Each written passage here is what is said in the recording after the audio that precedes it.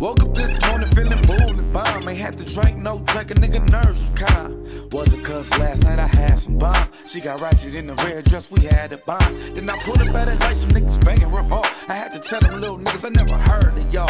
Tried to make a nigga lose his composure. I had to hit the gas on him. I almost spit my whole soul, still in motion. Can't let them get the best curve skills on dick, they want my recipe. They like how you do that and keep it moving. Cause see me, I usually lose it when a nigga act stupid. Like he ain't on my record, ruthless, acting like he with the business. Me ain't worth me doing detention, sitting in prison, wait for my niggas, asking for money from these bitches. When niggas start tripping, I be wanting to start